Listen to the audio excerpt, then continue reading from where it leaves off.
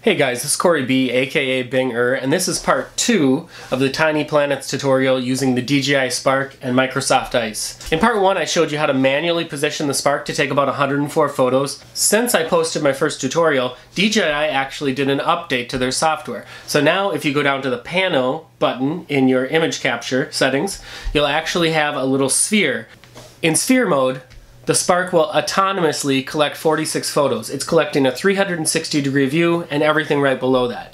The old way took a lot of time. Max, I would be able to get two Tiny Planet photos collected out of one battery. The new way, it takes about 10% of the battery to collect one whole set or 46 pictures for a tiny planet. I'm getting approximately four tiny planets out of each battery. The other night, I went downtown Rochester and flew my drone for about an hour and a half. I went through four batteries and took 12 different sets for a Tiny Planet 360 pano. So let me show you how I'm editing those right now. I'm still using Microsoft ICE because it's giving me the best results. Let's go in here. Alright, so as you can see, these are my Tiny Planet panoramas. Each folder has 46 images in it. You can see here and that is their autonomous setting now. When you hit the Pano button, you're automatically collecting 46 photos every time.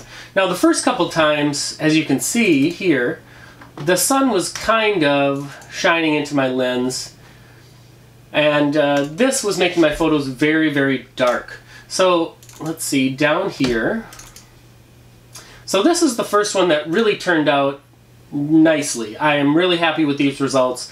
What I did was the first photo that I had to take was faced directly away from the sun.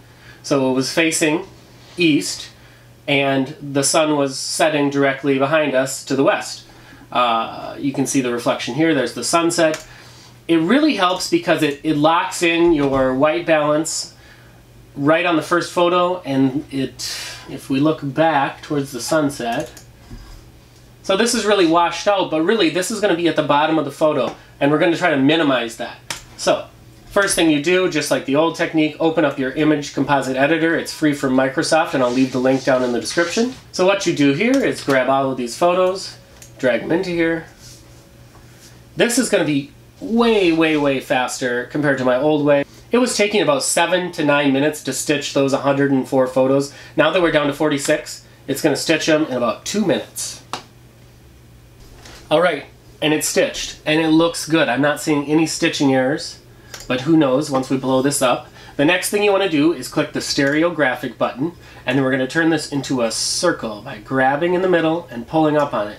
Now, I've kind of figured out a better technique here. You want to zoom out a little bit, and you want to get that horizon, the sky, kind of the same width all the way around there, or pretty close to it at least.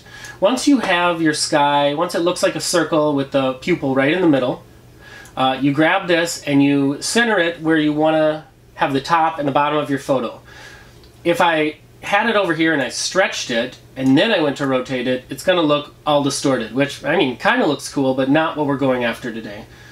So what we want to do, let's unstretch that. Oh, can I even do it? So there you go. You want to center, you want to center it first. So what I'm thinking here is I want to have this reflection with the sunset right in the middle. Put that right there. And now I'm going to drag it and distort it. If you want this building to be smaller, you drag it down. I don't think it's the effect that we're going for. It doesn't really pop. What I like to do is drag it up. Um, but too much, it's looking cartoony, and actually, if you go too much, you can't even crop it on the screen anymore. So I like to go about right here. I think that looks great. Let's hit the crop button. This will take about I don't know, 20 seconds here.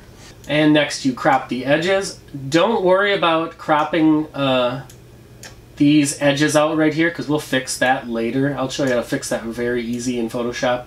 But what I what I've been going for lately is trying to keep it about at a square because if you if they're too rectangular, like if we chopped it down to this, it's not going to look good in Instagram. And I really like using Instagram this last week to edit my photos. So I'm going to try to keep it at a square. That looks fine.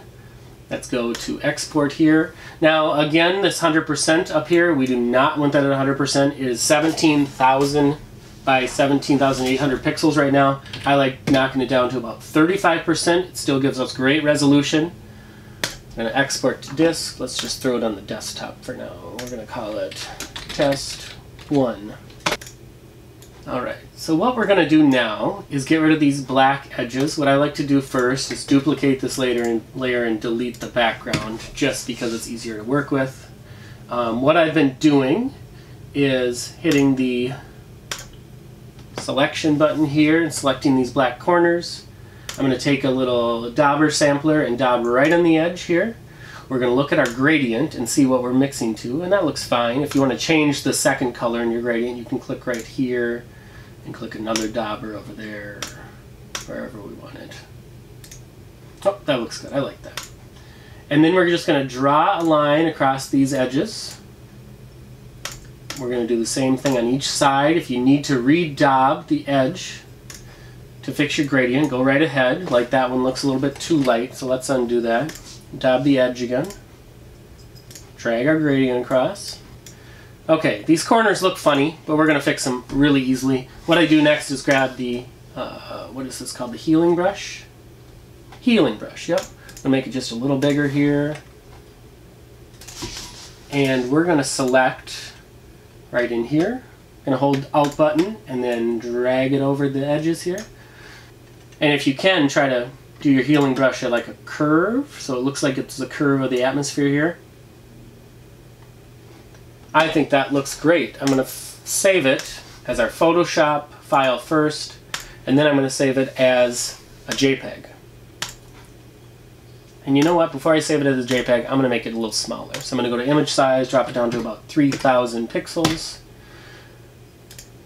I want, I want it usually to be just under one megabyte. It seems easy to upload for social media and some other forums that I'm a part of, but if you're going to print this, you want it way bigger than one megabyte. From this point, you could use filters in Photoshop, but I really like throwing it over to my phone and Instagramming it. So let's do that right now.